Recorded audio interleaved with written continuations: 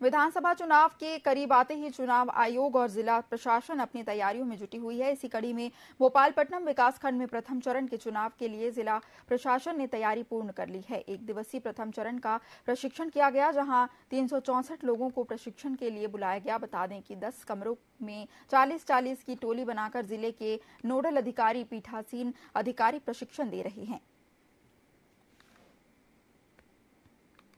विधानसभा निर्वाचन 2023 जिला स्तर में आज विकासखंड भोपालपट्टनम एवं विकासखंड आवापल्ली में प्रशिक्षण आयोजित किया गया है और भोपालपट्टनम ब्लॉक में कुल 325 पीठासीन अधिकारी मतदान अधिकारी एवं जो दिव्यांग कर्मचारी है, उनकी संख्या है 11 और महिला कर्मचारियों की संख्या 28 इस तरह से तीन तीन सौ चौसठ लोग ये प्रशिक्षण ले रहे हैं।